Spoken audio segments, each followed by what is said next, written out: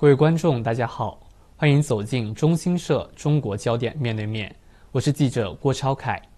十月二十八日，天问一号探测器顺利完成了第三次轨道中途修正。在飞往火星的途中，天问一号为什么要进行轨道中途修正？火星探测的难点又在哪？距离成功降落火星，天问一号还要迈过几道关？今天，中国新闻社。中国的航天联合邀请了国家航天局探月与航天工程中心副主任、中国首次火星探测任务新闻发言人刘同杰接受中国焦点面对面专访，对天问一号任务进行权威解读。刘主任您好，啊您好，十月二十八日，天问一号顺利完成了第三次轨道中途修正。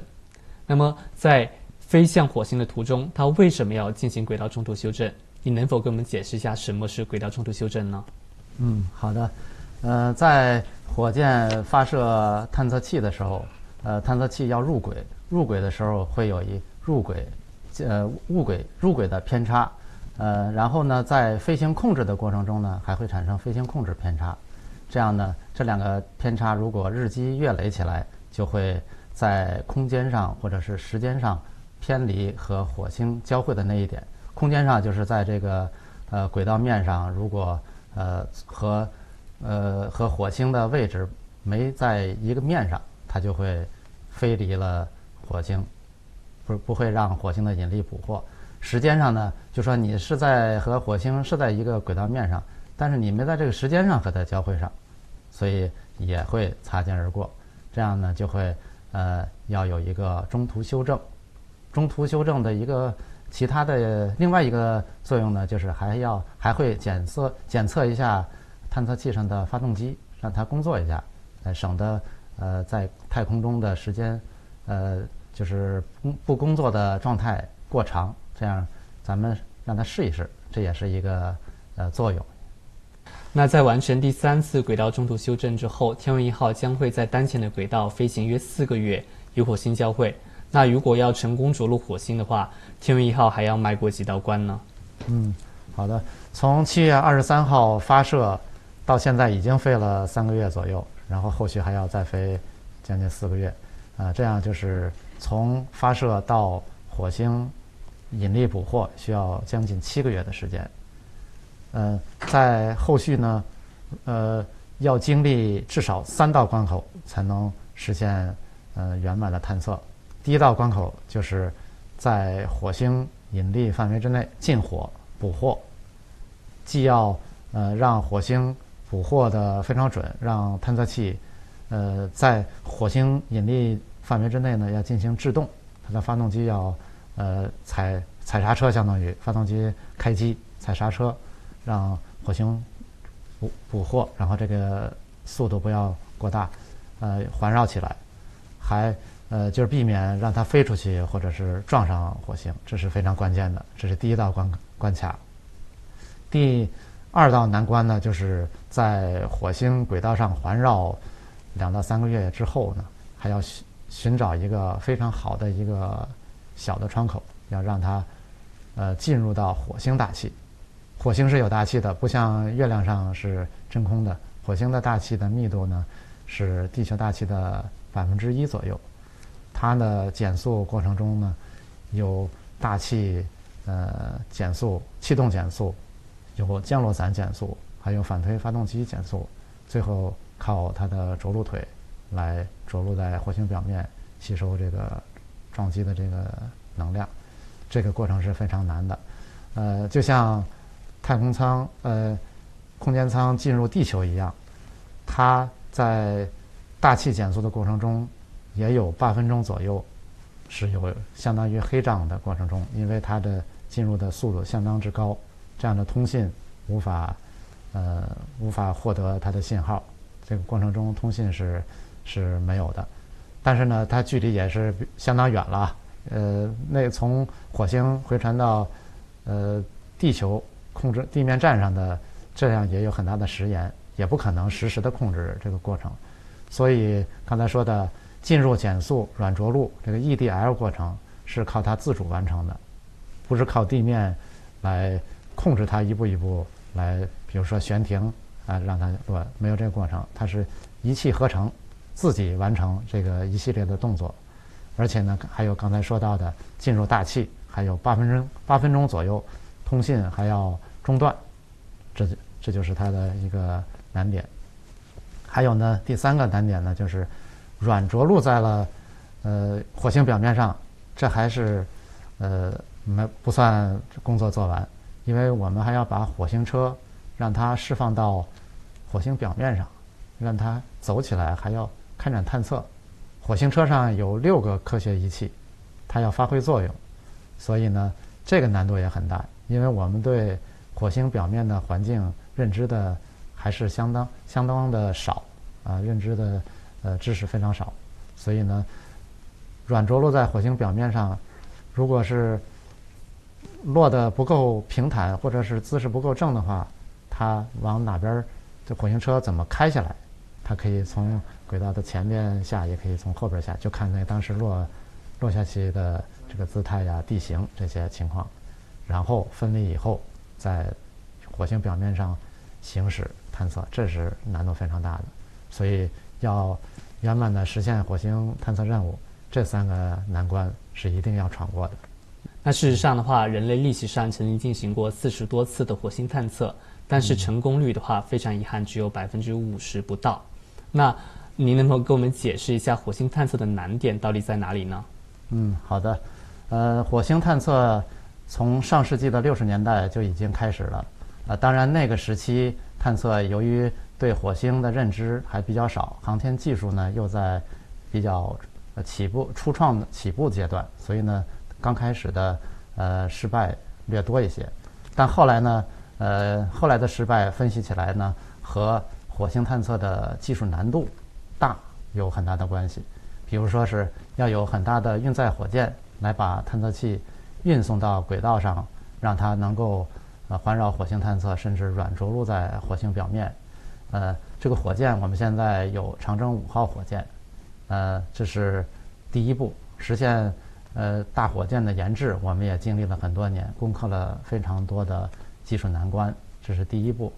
然后第二步呢，在设计探测器的时候，还有一个发射窗口的问题，因为火星、地球离得近，每二十六个月的呃这么一个时间段才能离得近，有这么一次机会，啊，每一次机会呢有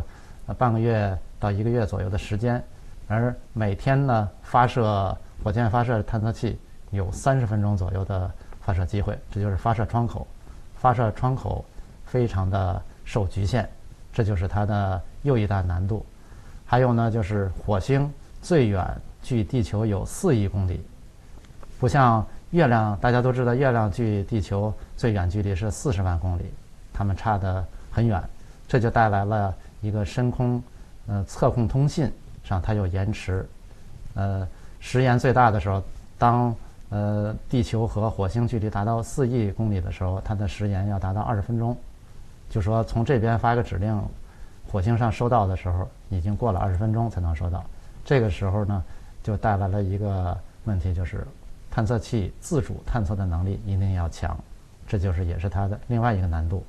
还有一个难度呢，就是刚才也提到了，嗯，一个是进火捕获，让火星把探测器捕获；还有一个就是进入减速和软着陆火星表面的这个过程。都是非常难的，这就是火星探测的几大难点。嗯，那到明年五月份的话，天问一号预计将会在火星着陆。那我们的天问一号将会选择在火星的哪一个区域着陆呢？呃，现在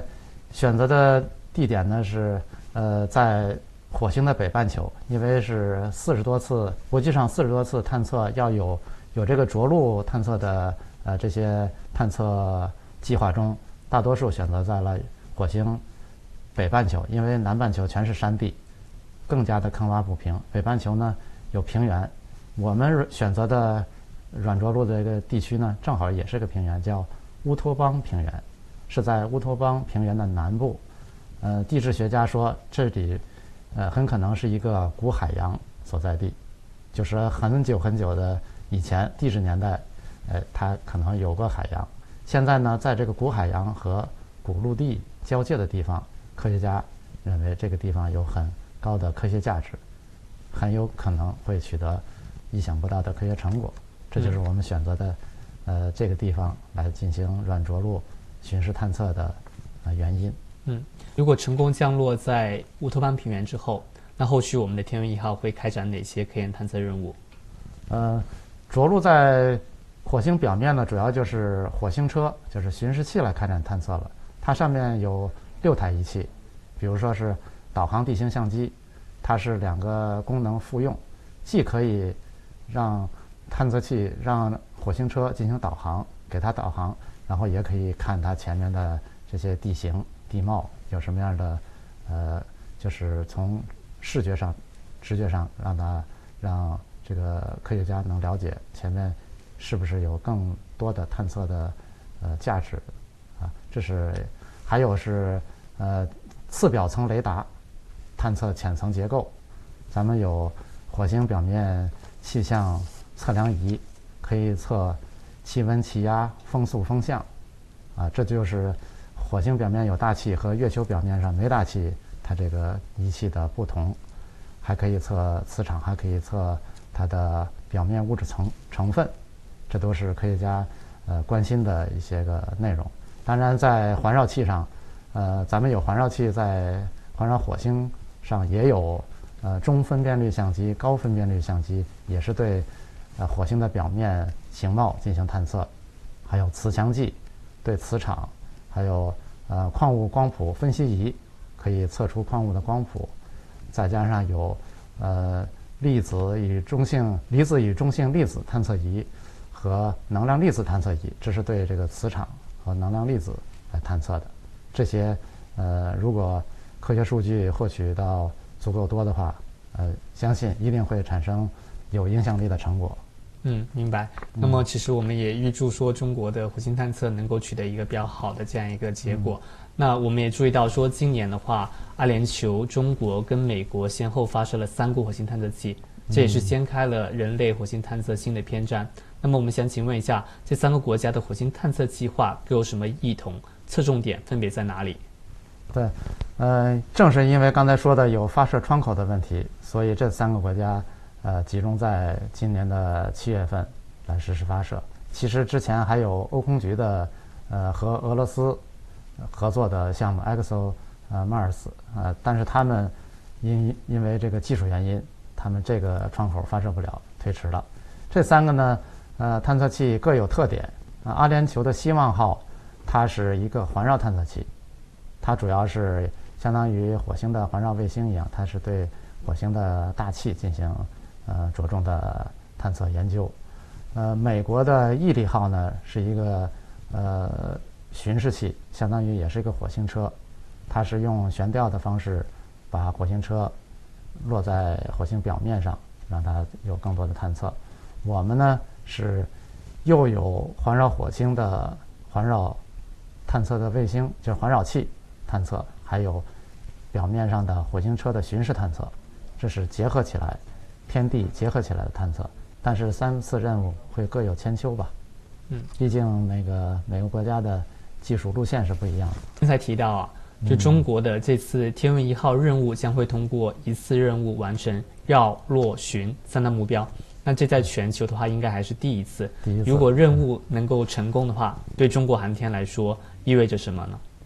呃，首先呢，我觉得开展深空探测、行星探测工程是开展这样的事业，它就是一个人类探索精神的一个体现。呃，如果我们首次火星探测任务圆满成功，这说明我们中国人在这方面有了长足的进步，为人类和平利用太空。做出了更多的贡献，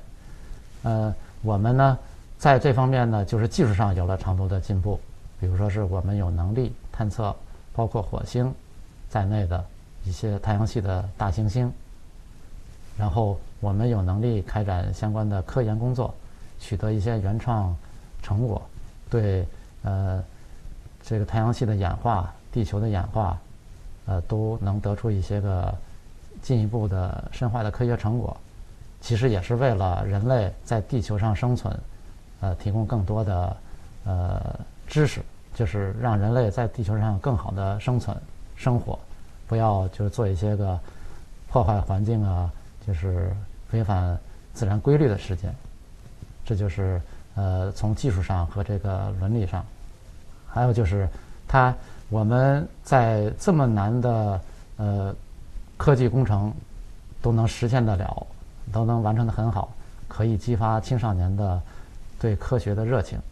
对科技科学的热情，可以投身到国家的呃建设中去，这样是让大家呃就是又可以仰望星空，又脚踏实地的开展工作。这样的激发大家的探测热情，尤其是年轻人，所以我们愿意到，呃，就是高校和中学去给他们做一些介绍，工程上的介绍，因为这个对呃老百姓来说，航天还是比较神秘的一个领域。其实对我们而言，这就是我们的工作，它是呃，只不过这个工作是大家接触的相对少一些，我们有呃责任让更多的人了解到。其中的，呃，就是这个过程和这个知识和他的精神，这样呢，就可以为我们人类和平利用太空做更多的贡献，和平在地球上相处做更多的事情。主要是，呃，这些我觉得是非常重要的。无论从科技角度上，还是人才培养上，还是这个就是世界观的培养上、建立上，都是有很大的作用的。那。中国的行星探测的第一站选择了火星，我们为什么要进行火星探测？火星探测的一个重要意义是什么？为什么选火星探测呢？这在国际上，呃，火星是呃类地行星，和地球的呃就是环境啊有很多相似之处，国际上也选择火星作为一个重点来探测。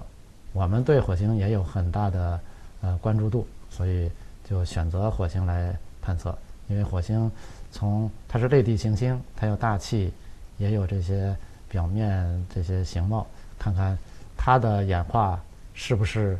地球演化的未来。就是火星很可能以前是有存在过生命，但是现在它大气也稀薄了，生命也存在不了了。地球如果是人类无限度的开发破坏，会不会也有朝一日会发展成？火星这样，这是科学家们呃提出过的问题，所以我们对火星呃探测是有很大的呃好奇心，有对探测火星也有寄予很大的希望，这就是探测火星的呃就是主要的原因。嗯，那天问一号实际上是迈出了中国行星探测的第一步，未来我们中国在深空探测领域还有哪些计划和安排呢？呃，现在的计划。呃，主要行星探测计划，我们呃规划了四次任务。首次火星探测任务呢，就是天问一号呃任务呢是第一次，它已经发射实施了。呃，还有第二次，我们规划的是小行星探测任务，这个预计在二零二四年前后来实施。呃，此后呢还会有火星采样返回任务，这在呃二零三零年前后吧，还有。在这个二零三零年前后，还有一次木星系及行星穿越，就是探测完木星和木卫四之后，还要向更远的深空来飞行来探测。现在规划的就是连实施的带后续即将实施的有这么四次任务，是行星探测任务里边的。嗯，明白。非常感谢刘主任接受我们的采访，各位观众。本期的中国焦点面对面就到这里，我们下期再见。